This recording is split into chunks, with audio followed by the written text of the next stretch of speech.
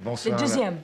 La deuxième, oui. Bonsoir, Liza Minnelli. Nous avons la chance de vous avoir en Suisse en ce moment et nous avons la chance aussi d'avoir Cabaret, l'un de vos films qui date de 1972, qui est signé par Bob Fosse. Alors, Cabaret a été un film, je pense, important pour vous. Oui. Quel souvenir reste de, de, de ce film? Well, it was a wonderful experience be- because it not only um,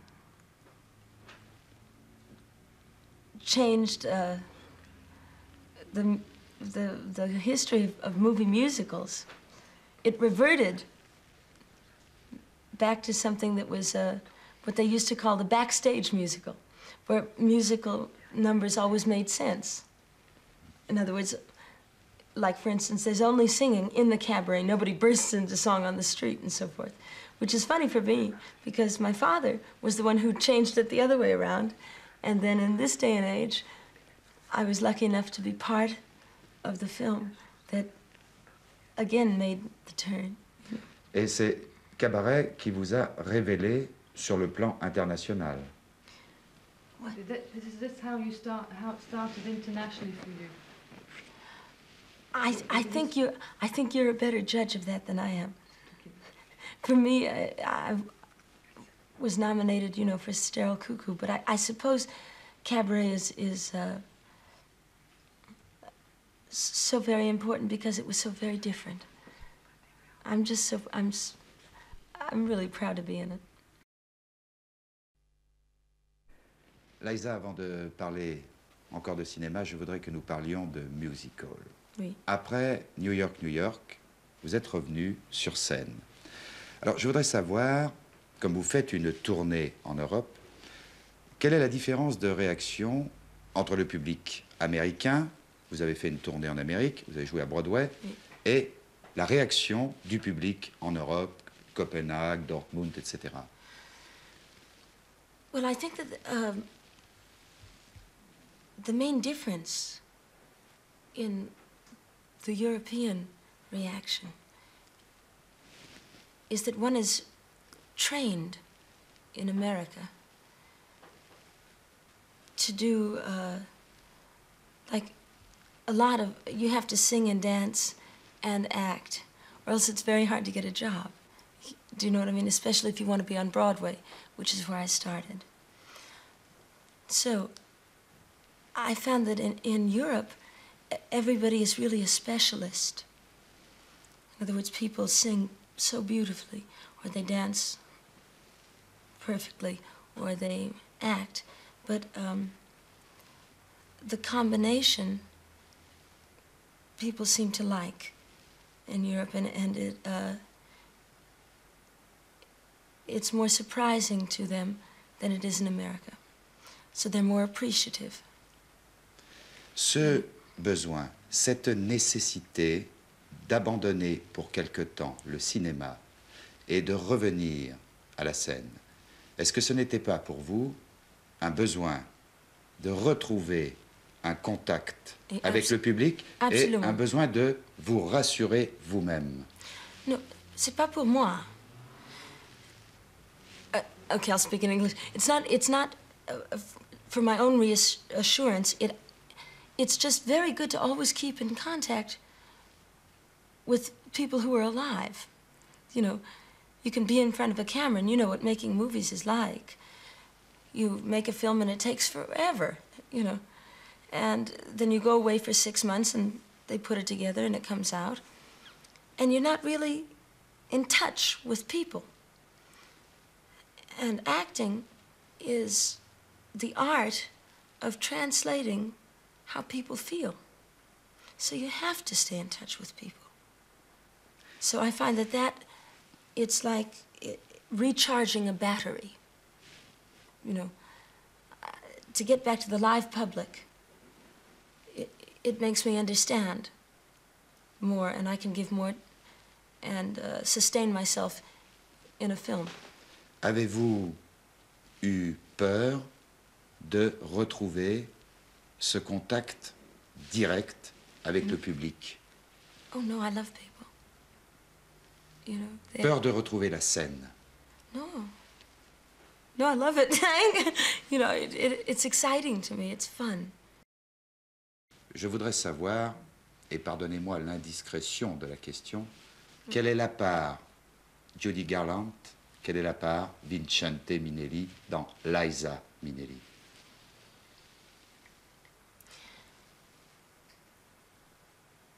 My mother gave me my guts.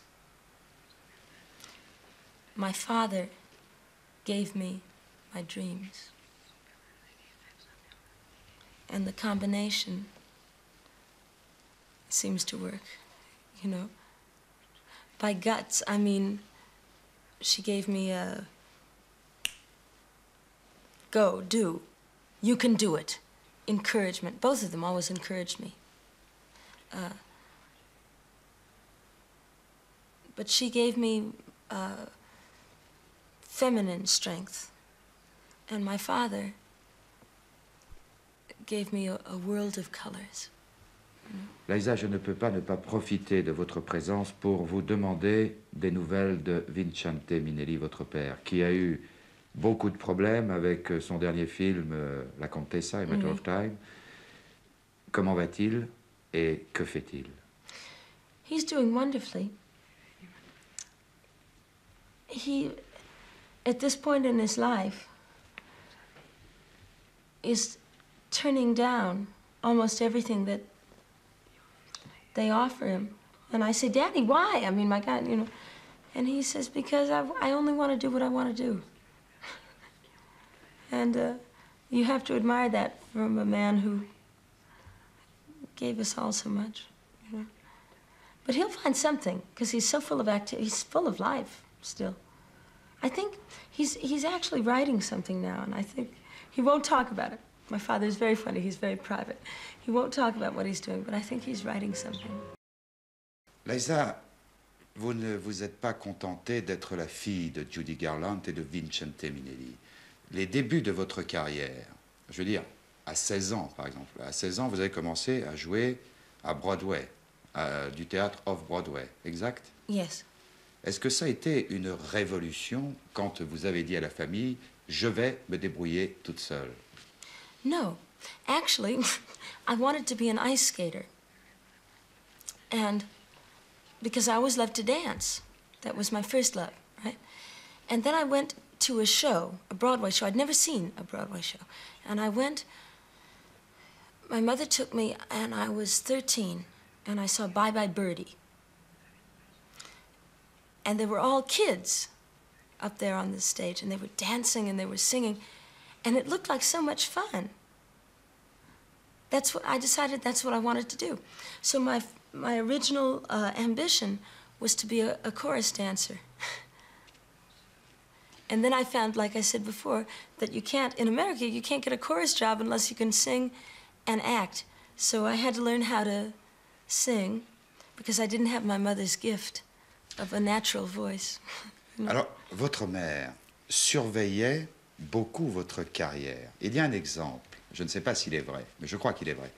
Vous deviez jouer Carnival, et votre mère ne voulait pas que vous jouiez ce, ce rôle, et elle avait téléphoné de partout pour vous empêcher, est-ce exact? Yes, that's true. But at that time, my mother was lonely, and she wanted me to stay. She wanted me to come home. And it was just at the time in my life when I couldn't go home. I, I, I had to do it. And uh, I said, Mama, I have a contract. I've signed a piece of paper. And she said, break it. And I said, I can't do that. Too many jobs depend on it. What about the other people? And then she said, uh, You make me mad,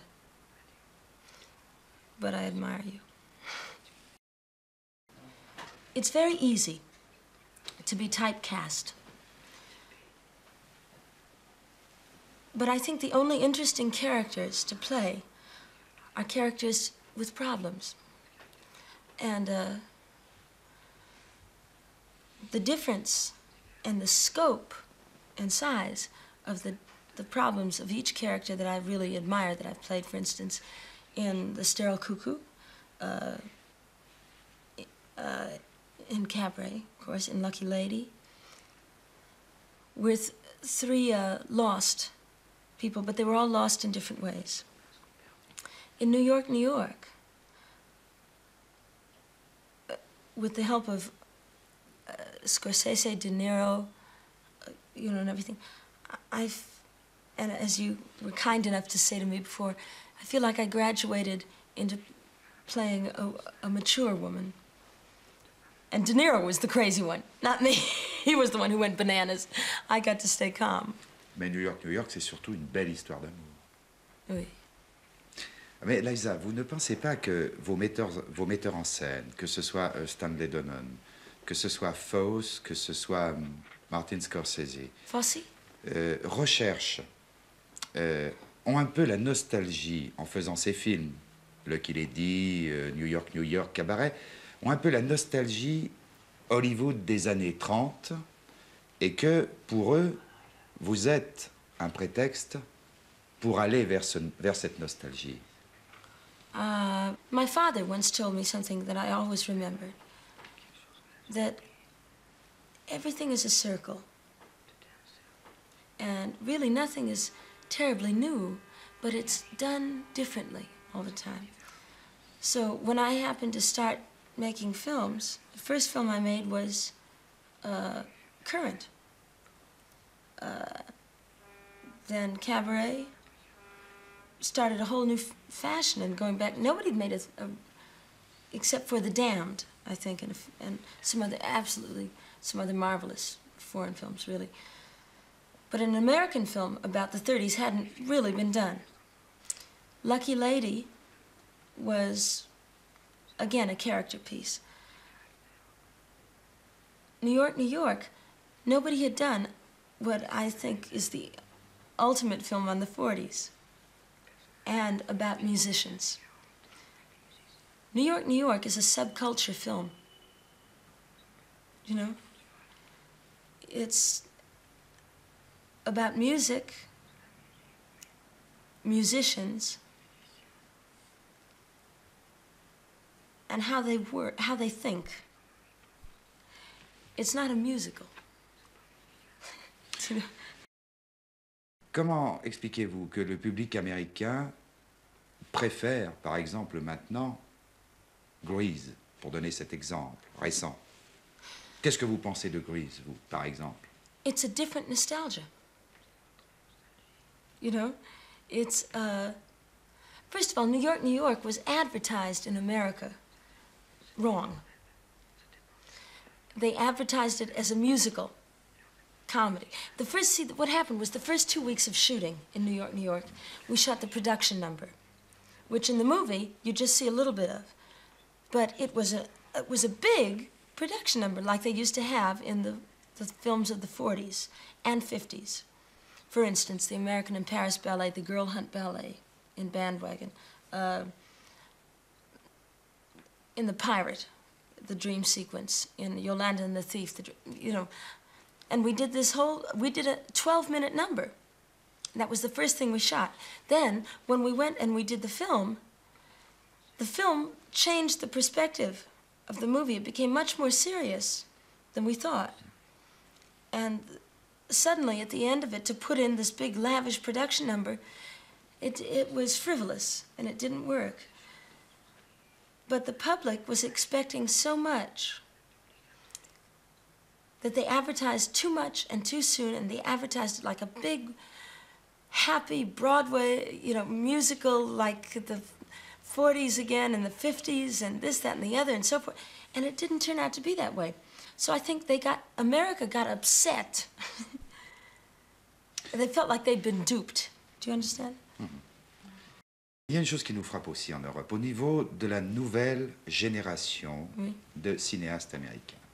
Euh, je veux parler de Lucas, de Spielberg, de Scorsese Oui. et de quelques autres. Alors, il y a deux solutions. Soit ils regardent vers le fantastique, Star Wars, etc., etc. Oui. Soit ils regardent vers le musical, soit... Mais on a l'impression qu'ils ne regardent plus la réalité américaine avec leur caméra. Comment expliquez-vous cela? Well, I think in the case of Scorsese, that's not quite accurate because Mean Streets, uh, Taxi Driver? Taxi, you know, he's very down to earth. In fact, I think that it was Scorsese that elevated underground films to popular underground films. He made that transition and he allowed and all of these other directors that you just mentioned will tell you I'm, they may not tell you, but I mean, they told me the same thing. He opened a door for everybody. I, I, I always feel that, uh, and it seems to have proven itself, that every 10 years there is, every decade, there is a country that's in. you know? And especially in film. And now in this decade, it's come back to America. All of the young, there's these young guys who are just dying to express themselves. And it's kind of fun that it's back in Hollywood again, where it all started. Au niveau du cinéma américain aussi, Liza, il y a euh, un engagement politique au niveau de certains acteurs ou actrices. Exemple, Jane Fonda, Coming Home, film Yes. que vous connaissez. Euh, Qu'est-ce que vous pensez du, du militantisme des acteurs et des actrices? Est-ce que vous pensez qu'un acteur ou une, une actrice doit avoir un rôle finalement politique à travers les films qu'il fait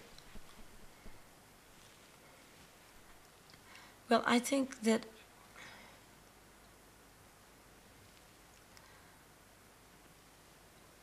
it's important to know the facts. Um, I admire the enthusiasm of people who try to help anybody. But I also think that it's wrong to use the power that the public has given you. And let's face it, it is the public. They've given you that. They've said, we like you, so you're, you know, that's it. To, to use that power to influence them in something that is not your real business. And I, to me, I, I don't know. It's it's a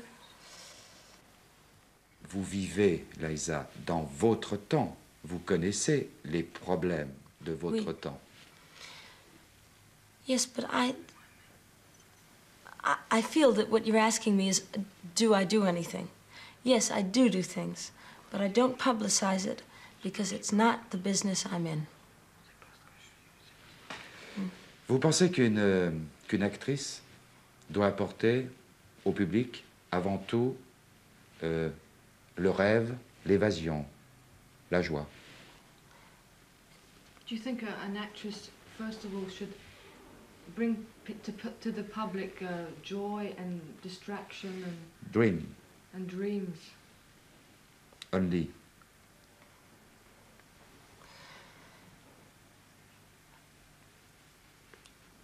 I think it's your job, if you're good,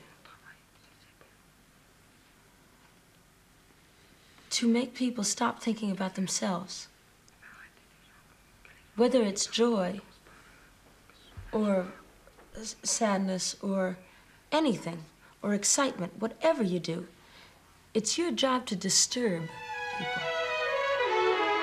Je connais, moi, l'un de vos rêves, un rêve que vous avez.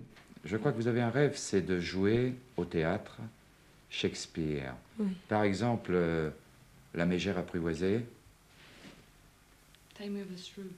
Yes. Yes, but that's uh, that's not really the one that I want to do. I'd rather do. I want to do Joan of Arc. You know? And yeah, I, I'd love to do Shakespeare. I'd love. I love all of that thing. I I like to expand. You know, for instance, I just did a a new ballet with Martha Graham at the Metropolitan Opera, and uh, it worked. I mean, it worked. It was it was wonderful. It it worked, and uh, Nureyev and uh, Baryshnikov and Jerry Robbins, people I admire, said that I had made that step that in my field, I'd crossed over to, into their field successfully. And uh, I, was, I was very happy about it. Anytime you can grow, that's, that's, the, that's the most exciting thing in the world. Vous donnez une impression de fragilité.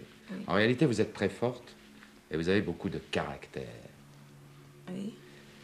Est-ce que cette force, ce caractère, ne sont pas des éléments qui empêchent Liza Minnelli, femme, d'être d'être heureuse Vous avez compris ma question? Oui.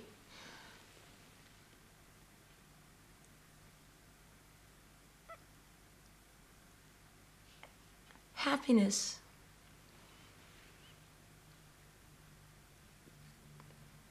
consists of two things to me. One is the rush of suddenly feeling happy. Two is contentment.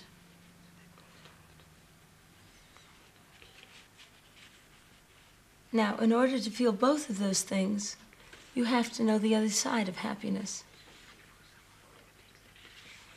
I've met that other side. I've dealt with it. I've lived with it.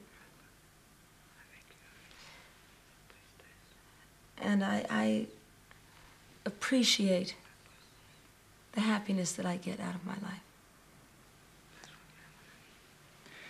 Liza, est-ce que vous vous souvenez d'une date D'une date Qu'est-ce Une que c'est d'une euh, date date. Yeah.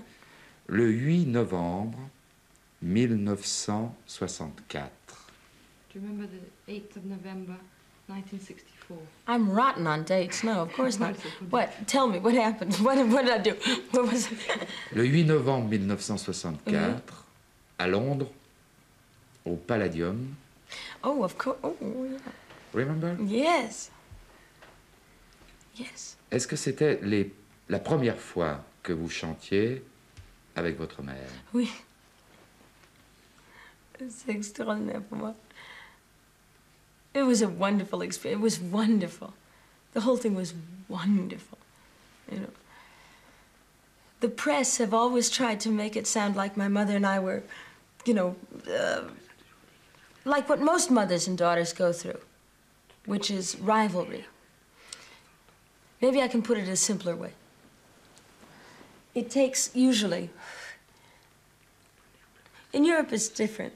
But in America, with all of this women's lib and this, this whole thing, usually a mother and a daughter go through three or four years of, I'm going to do what I want to do. Well, for God's sake, don't, you know, it's that thing of, the, of a woman, when the mother suddenly realizes that the girl is a woman and she views her as another woman. It's, it's a lot to take for, for a mother. I, I went through four years in two hours on that stage with my mother. We got it all out of the way. It was all, it was like I, I went through that whole terrible period that people go through for years. In two hours, I went through with my mother. And it ended up beautifully.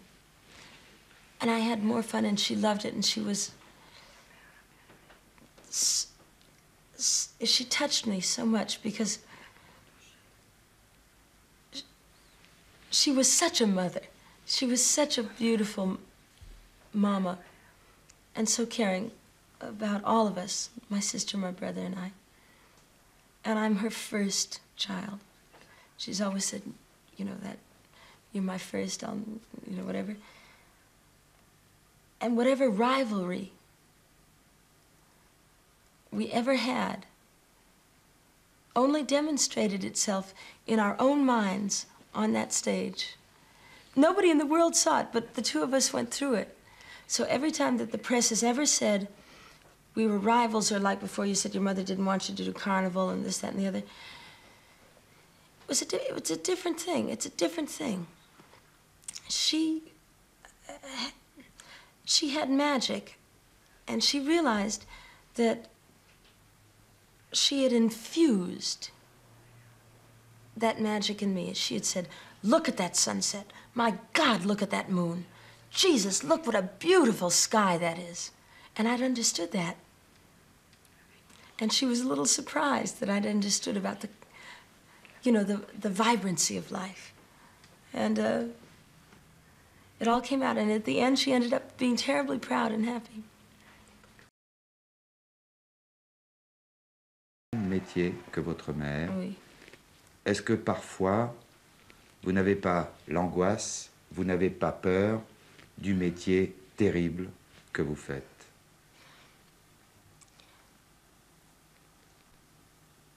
No, I have. See, I grew up with my mother constantly teaching me about her fears. She once said to me, Watch me. And when I get upset, when I get depressed, when I get disillusioned, learn from it. You know, I'm the best example of what I don't want you to do. And I always respected that. And the, the press and uh, various people have tried to make me sound like I am frivolous or even promiscuous. And I'm not. I was instilled with probably the highest moral values that I've ever heard of by my family, and I've stuck to them. But I learned another thing from my mother. One time, I was on the school bus. I was going to school. And I passed a newspaper stand, and I looked out the window, and it said, Judy Garland runs uh, naked through her house trying to kill herself. And all of the children on the school bus started to laugh at me, you know. And I, I knew that wasn't true because I'd been with her. And I went home and I was crying because the children had been so mean. And uh, I said, Mama, it's not true. You have to tell them. You have to, you have to tell them it's not true, so that they can write it differently in the paper, so that so that they won't misunderstand. And she said, No. Let them build a legend. I'll live by my own morals. Je vous remercie, Liza, et j'espère, nous espérons tous vous retrouver bientôt dans un nouveau film. I will. Thank you so much. Merci. Thank you, Christian.